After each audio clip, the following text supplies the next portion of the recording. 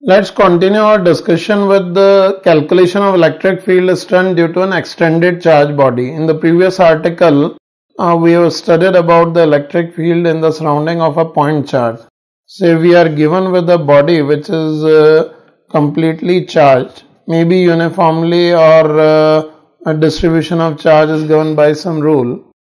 In this situation, we wish to find out uh, the electric field at a point P in the surrounding of the body then in this situation, uh, we consider a small elemental charge dq in the volume of body and uh, say from this dq at point p the position vector is x vector.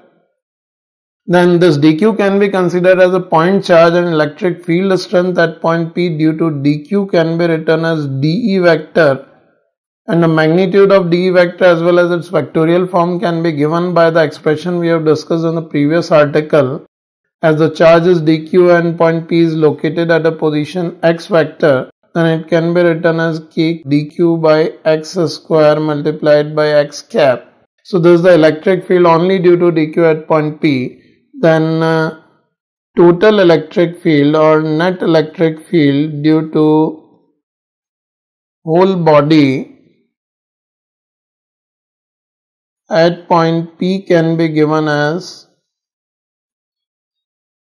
this can be given by EP vector is equals to integration of the electric field vector due to an elemental charge.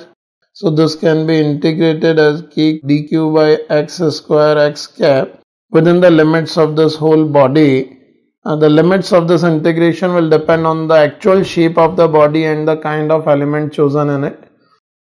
Now in coming articles we'll discuss about some standard relations for various cases in which you will see for different kind of bodies the limits of integrations will be different.